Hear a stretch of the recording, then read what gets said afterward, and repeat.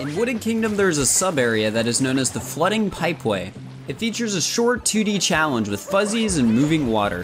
While this isn't the only area in the game with moving water, it is the only location where water sinks below the surface. From an outside perspective, this doesn't seem like a big deal. But this trait actually lets us break the game and clip out of bounds on all currently available versions. Before we get into the glitch, I'd like to give a quick shout out to Blip for finding it. So to get out of bounds, we have to wait until the water is sinking down from the ceiling. Once the water is sinking, we have to wait again until it's right at the tip of Mario's head.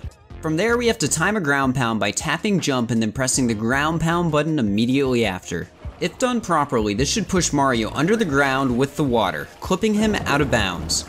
While this does seem easy, there are some important things to note here if you want to be able to clip consistently. First thing is the inputs and timing are the main challenge with this trick, so it can be difficult at first, but with a little bit of practice it's relatively consistent. Also, when you're standing on a surface underwater, you cannot ground pound unless you cap throw or jump. This is why we jump before ground pounding when performing the clip. From my experience, holding the ground pound button for longer also seems to make the glitch easier and in some instances may even be necessary. Now that we've made it out of bounds, what's out here? How do things work? Well fortunately, because the water extends outwards, we can explore a bit. Moving ourselves away from the main area, we are able to regain full 3D control. We can move in front of or behind the sub area by doing this, though we can't go far. The water in this area is essentially a giant block, similar to the other moving water blocks in the game. Going too far forward, back, to either side, or even down will cause Mario to begin to fall and eventually hit a death plane.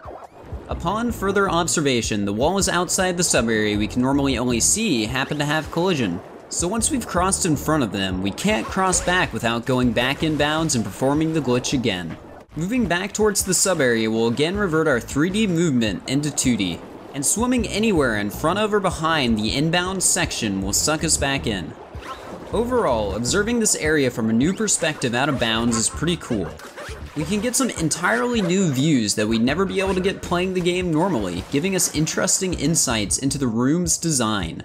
Hanging out in certain parts of the out of bounds area can also give us some interesting camera warping glitchiness that can be fun to play around with. And that's all you need to know about the flooding pipeway out of bounds. Have any questions? Just leave a comment and I'll try to answer. Thanks again for watching. If you enjoyed, feel free to like and subscribe. I'll see you guys next time.